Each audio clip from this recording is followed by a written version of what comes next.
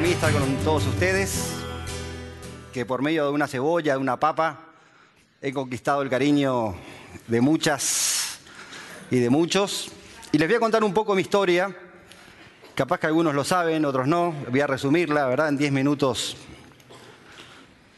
Eh, nacido en Uruguay, 23 de junio del 68, en Montevideo. En ese momento mis padres o mi padre tenía una tienda con mi apellido, que era la tienda más importante supuestamente que había en Montevideo, con la primera escalera mecánica que hubo en Sudamérica en el año 50. Eh, casa en Carrasco, dos, tres casas en Punta del Este. Una familia muy holgada hasta que en el año 78 se fundieron. Habían 1.500 empleados en la tienda de mi padre y se quedó en la calle, se quedó en la nada. Mi madre, o sea, obviamente problemas económicos, se separaron. Mi madre con cuatro hijos pequeños se vino con toda la fuerza para Asunción, a empezar de vuelta. Y en sexto, eh, sexto grado, Colegio de la Asunción, hasta sexto curso, recibido en el Colegio de la Asunción, y famoso en tercer, cuarto curso, te hacen esos análisis niembos psiquiátricos.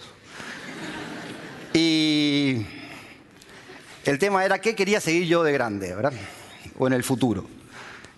Y siempre me gustó la cocina. Desde pequeño, eh, mi padre era una persona que en su momento, cuando tenía un poco de, de efectivo, viajaba a Europa dos, tres veces al año y cuando llegaba me cocinaba todo lo que había probado en diferentes restaurantes. Le hace que de chico él me llenó de sabores la boca, ¿sí? Desde el desayuno, almuerzo, cena, cocinaba con mucha alegría y entusiasmo. Eh, termino sexto curso, mi mamá estaba con un negocio acá que le fue muy bien, de ropas, hacía grandes desfiles en su momento, creo que los mejores que hubo en Asunción y vine con una revista de Francia que se inauguraba la escuela de cocina en Maxims, en París. Y bueno, ahí me fui en el 87, sin saber una palabra en francés. Y estuve 87, 88, estudiando, trabajando en algunos pequeños lugares. Volví a Asunción, estuve un tiempito y me fui a Buenos Aires a, trabajar. Cuando uno se recibe a veces en cocina piensa que sabe un poco, pero al final no sabe nada, ¿no? Hay que trabajar, pelar varias bolsas de papas, cebollas. Y estuve trabajando tres años en diferentes restaurantes de Buenos Aires. Después me fui a Londres, al Cordon Bleu, hice un curso un poco más especializado, hice unas pasantías de trabajo con Gordon Ramsay, con Anton Mossimans, con Michel Roux. Me fui al País Vasco con Narzac, con Martín Berazategui. Di un par de vueltas como para aprender realmente lo que es una buena cocina.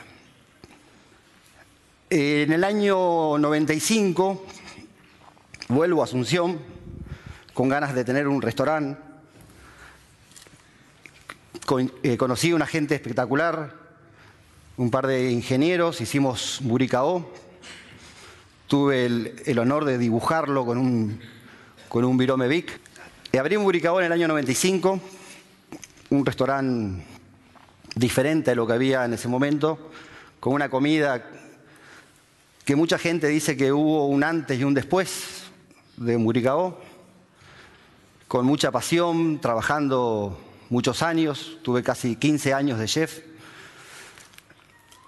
Y también en el 95, cuando abrí en Buricao, quería transmitir un poco el conocimiento que había aprendido en restaurantes, en estudios y demás. Toqué un par de puertas para hacer televisión, más que par, una puerta toqué.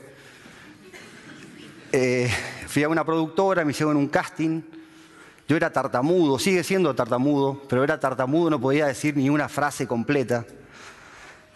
Y cuando empecé a hablar en la televisión, me dio que se me fue ese, ese temor o esa, esa tartamudez. En esa productora me hicieron un casting, ese casting quedó metido en un cajón como varias otras cosas.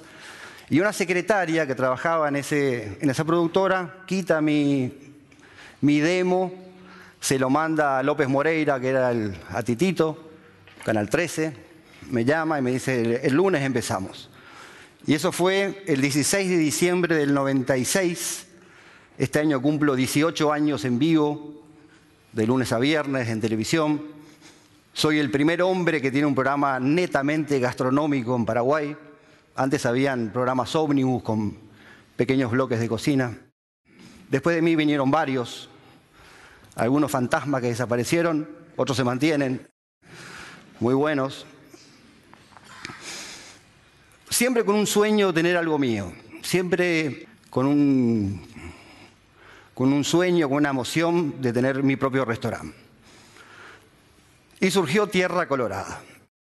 En el año 2010 4 de febrero inauguramos un pequeño restaurante, muy sencillo, sin un peso, pedí préstamos por todos lados, estoy pagando por suerte bien al día.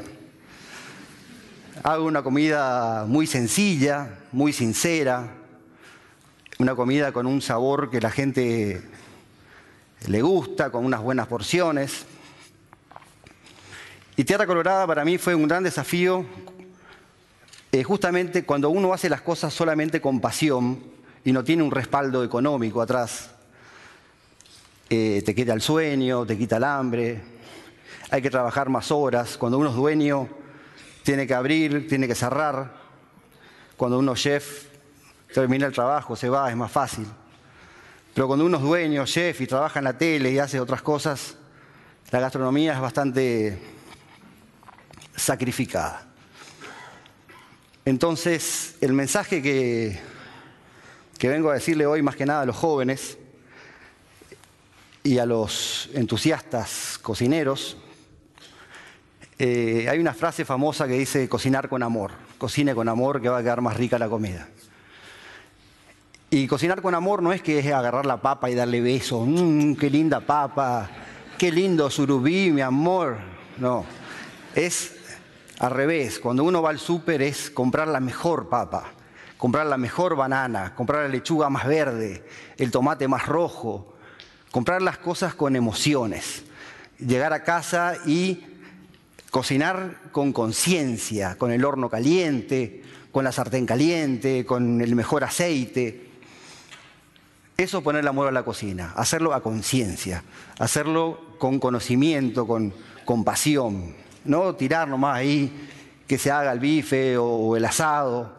Hasta lo más sencillo, todos nacemos asadores, todos somos asadores.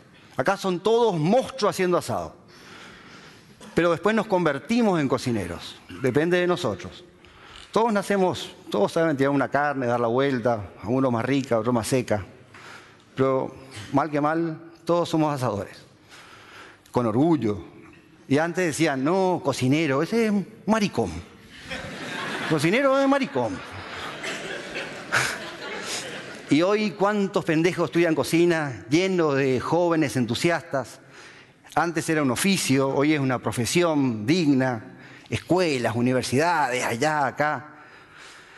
Y está lleno. Yo cuando empecé estaba solo ahí, luchando. Habían un par de colegas, pero Hoy está lleno, hoy son todos cocineros y todos se reciben acá en, las universidades y todos, no, yo soy chef, eh, yo soy chef.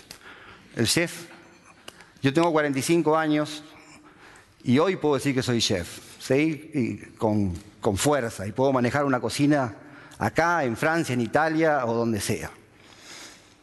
Tuve el honor de que me llamó hace un mes la Real Academia de Gastronomía para ser jurado de los mejores restaurantes de América del Norte, Central y del Sur. Me voy la semana que viene a Perú. Se elige esto el 4 de septiembre. Eh, represento al Paraguay con todo orgullo. Yo soy nacido en Uruguay, más soy paraguayo. Así que el mensaje que digo siempre en la tele es que Dios los bendiga, que cuiden, cocinen, amen a su familia es lo más lindo que esta vida le dio.